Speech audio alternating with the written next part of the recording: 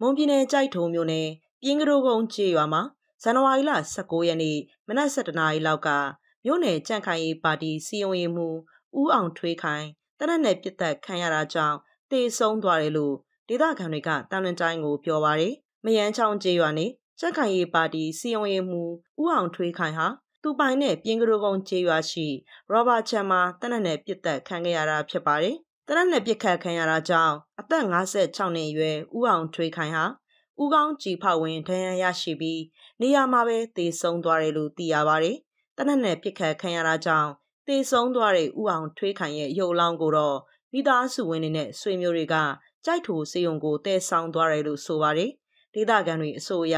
ဦးအောင်ထွေးခိုင်ဟာမယန်းချောင်းကျေးရွာမီလင်းကော်မတီအဖွဲ့ဝင်တူဖြစ်တယ်လို့စစ်တပ်အာဏာသိမ်းပြီးနောက်ပိုင်း လျှက်စင်မီတာခကောက်ယူတာနဲ့မီတာဖတ်တာတွေအဓိကလှုပ်ဆောင်နေတာဖြစ်တယ်လို့ဆိုကြပါဗျ။စိုက်ထုံမြို့နယ်အမြန်းချောင်းကျေးရွာမှာပြီးခဲ့တဲ့ဇန်နဝါရီလ14ရက်နေ့ကလည်းကျေးရွာအုပ်ချုပ်ရေးမှူးဦးအောင်ထွေးတနက်နဲ့ပြစ်ခတ်ခံရတာကြောင့်တေဆုံးထားပါတယ်